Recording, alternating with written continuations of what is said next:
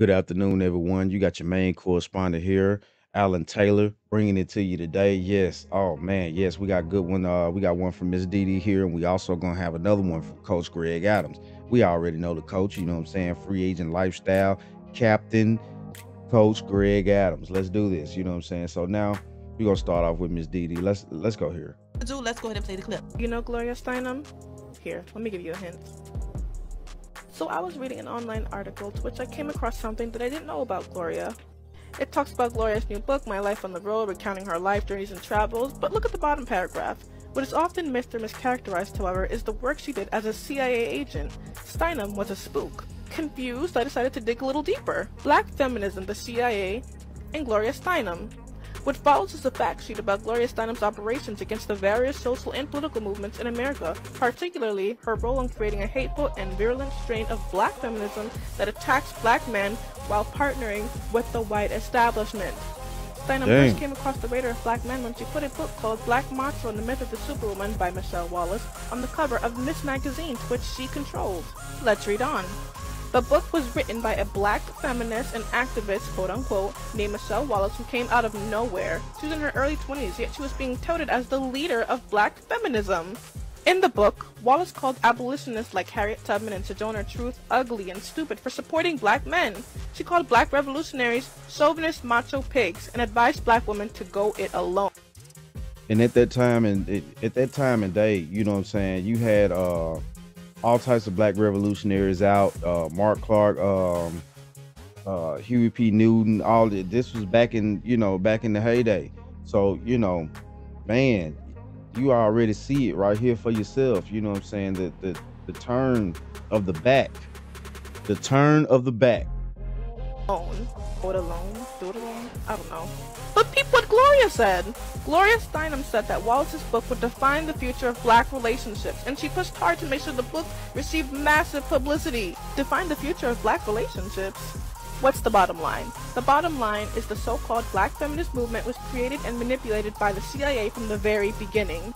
The only difference between black revolutionaries and black feminists on this issue is that black revolutionaries know they were infiltrated and manipulated, but black feminists are still unwilling to admit that they were infiltrated and manipulated largely because they are highly invested in the hateful brand of black feminism. It is now There you go, right there. You know what I'm saying? We, you know, let's just for real though, because it is what it is, and there we go. The CIA, that ain't the first time they tried to where they infiltrated with other things. They came in in the '80s with the, with the uh, the the cocaine and all the other crazy crap and the you know, uh, the drug scene and stuff like that. And these are open records, you know what I'm saying? Where the CIA has been, you know, put out on Front Street because they made these types of moves. And, you know, it's crazy to see that you, you know, the the country that you live in is also invested in your own demise, which you would think like, you know, it's like, man, wow. But everything for the dollar. Everything for the dollar. All right, here we about to switch over to uh young coach right here. Let's go. Let's go. You know what I'm saying? The coach, Greg Adams, you know, captain coach. There we go. Let's let's see what the coach got to say right now. Hey, check this out. Let me show you this. And yes, I'm still on the point. Watch this. Again, for the bird brains in the building. I've seen this. I've seen this meme posted by women who believe that they're fascinating, who believe that they're remarkable, who believe that they're trying to say, well, I'm not a gold digger, so that makes me better. By the way, Wow. some gold digging ass women win in life. I'm sorry. That's true. That's very much Some true. Some gold digging ass women figure it out and they be like, look, this is all I have to offer. I'm gonna leverage that and I'm gonna leverage that until I get what I want, and then Boom. they win. But of course, Yeah. shame, chastisement, all of the Puritan values will say that that person is a low life. But they continue to win, and you're expecting karma to hit them and all the evils to be heaped on them, and, and yet that's what they chose to do. But this woman right here, mostly women put this, and I'm going to tell you this is a dangerous mindset for men. Read it. And it says right here, when she wants your time and not your money, she loves you. This is false. Boom. Boom. Because to be honest with you now, you know, we all know, you know, as far as um how things go for men on this planet. You know what I'm saying? Uh, the taking care of women and things like that. You know, she's sitting there, she's sitting there telling you, you know what I'm saying, it's just about love and not about money. I'm not saying all, but at the end of the day, there's a large percentage of women out here. Yeah, we know they move for money. So, and if you know this and you live life long enough as a man and you know how the majority of women move, of course, because not every woman the same, just like not every man is the same. But if you see that the majority of women are moving in such a way, you do have to logically prepare yourself for that way of thinking so you can uh, uh, learn how to maneuver those mountains and and disre- disregard those barriers and things like that so you could be safe for yourself. This is false. Not only that it is worse than gold digging in my opinion. But a lot of blue pill plugged in mouth breather knuckle dragger missing link ham and eggers and oxygen thieves think that this makes makes her he be killing me with them ham and eggers. On everything he be killing me with the motherfucking ham and eggers. Remarkable. When this is actually more devastating to you as a young man. This is actually more dangerous to you as a young man than anything else. I don't care about your money. I'm not a gold digger. She's trying to separate herself from the classes of the gold diggers and the money mindset women. She's actually trying to put her in a situation where she's in the upper echelon. Many times she lives in a apartment building with bars on the window, Captain Crunch crumbs all over the floor. She lives off Section 8 and welfare. She's a single mom and so forth and so on. And she's trying to say, I love you, therefore it is your time that matters, not your money. This is dangerous. And I want you to understand it.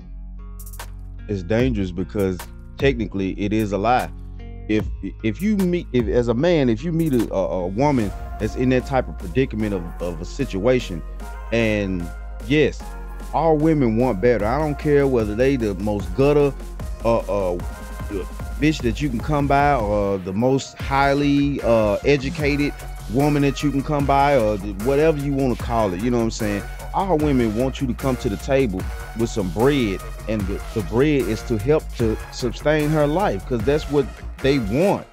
They want to they want you to be able to take care of them. You don't want a woman like this because your most valuable asset is your time.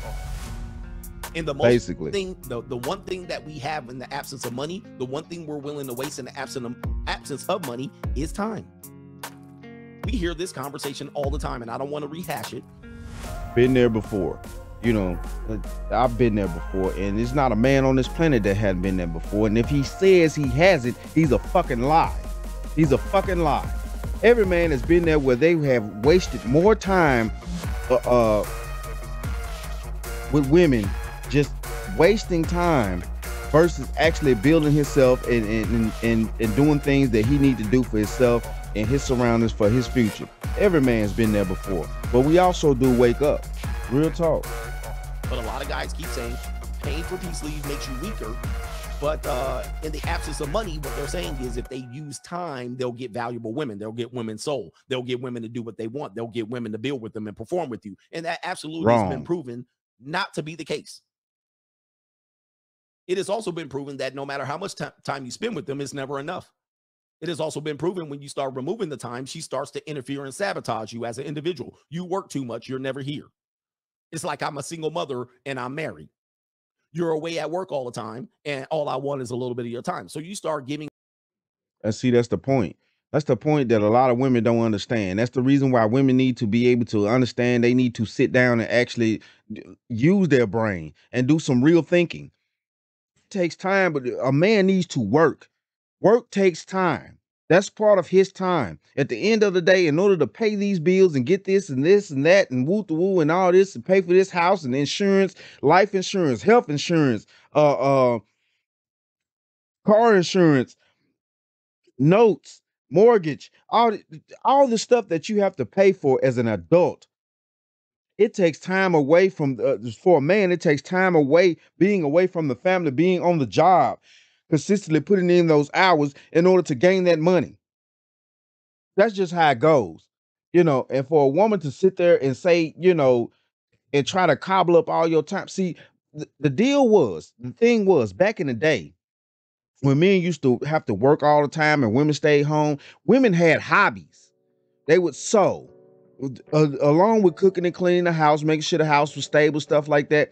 But they would sew, knit, uh, uh, they also had other friend girls to talk to. This was back in the day before women actually started hating each other. And don't don't dispute me on that because at the end of the day, you women nowadays do not have friend girls that y'all could talk to that are pleasant people that actually want to see uh, uh, good for your life and vice versa. Y'all women are at war at the same time too. That's the reason why y'all trying to turn now and you want all this man's time to come in and, and sustain the time that you supposed to be getting from your friend girls.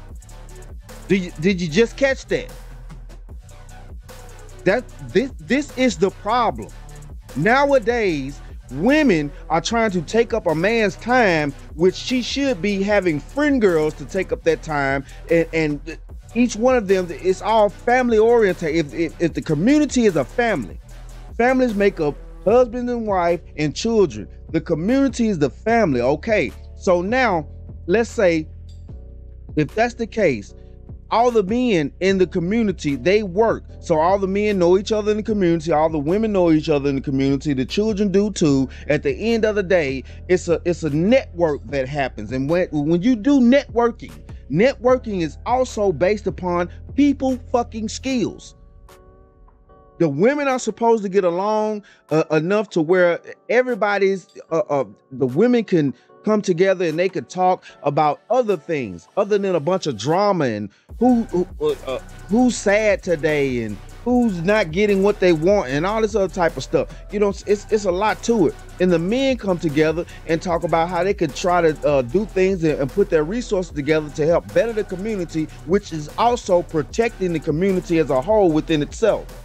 Her a little bit more of your time, taking your eyes off the prize, and then she ends up sabotaging your life well, you're here too much, and you're you're watching me, and you're this and that, and she's offering you nothing of value when you remove yourself from the prize.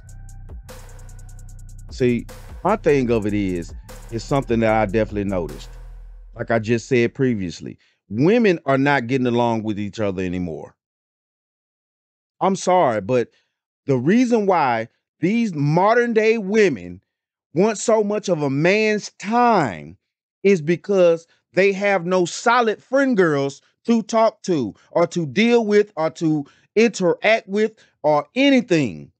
Women have a problem with it, uh, with amongst themselves that needs to be resolved in order for you to have the balance that we need. The where a man could go to work, he won't be so super. Uh, he'll be missed, but yes, though it's not going to. It's going to be a balance. It's going to be a balance because everybody has the proper time to spend with, with each other. Back in the day, women hung with women, men hung with men. They all got married, they had families, all this and that. But at the end of the day, though, the man went to took his tail to work. The women they gathered and shared recipes and every other little thing they need to do or talk or whatever, uh, or congregate how they congregate. And that's how it goes. You women in modern society do not have solid friend girls that you could trust to talk to. That's the reason why y'all demanding such a so much more time from a man. He doesn't have the time to give to you if he's going to go out and gather the resources in order to provide, protect, and and and, profit amongst you. It doesn't work that way. You sisters need to get y'all shit together. That's what the fuck going on.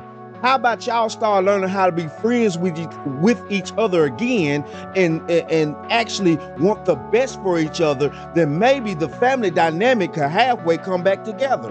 Can we get a let's go? And when you take your eyes off, she gives you nothing in the value. And then eventually, like Tom Brady understood, Tom Brady figured this out. Tom Brady figured this out. Remember, Gisele said, if you quit football and come back and be a father, I'll be happy. He quit football and became a father, and she said, I'm not happy. Boom. And he said, hell with that. He figured it out early and said, forget it, I'm going back. Because he gave her the time and she still, sa- she ended up sabotaging him professionally, sabotaging his mindset. And he said, you know what? you still are a miserable human being. It didn't even work. Boom. All right, there we go. You know what I'm saying? And that's the whole point about women needing friend girls. They need to be around that other feminine energy. The feminine energy feeds amongst each other as well, just like the masculine energy does. When men get around other men, we we power up. We power the fuck up like a goddamn video game. We power up. When women get around other women in that feminine energy, they power up in that. You want too much of your man's time, so you gaining more masculine energy than you are feminine energy because your man is masculine, you're feminine, you need to be around other women. That's the deal. Now I'm telling you right now, this what it is. You women need to get y'all shit together. Y'all need to start learning how to be friends again, want the best for each other. And at the end of the day, that's going to start bringing femininity back as long as fam- as well as families back. And that, my friends, is the bottom motherfucking line. What the hell? I just said it. Yeah, it is. There it go. That's 10 toes down. It is what the hell it is. I just said it. And that, my friends, once again, is the bottom line.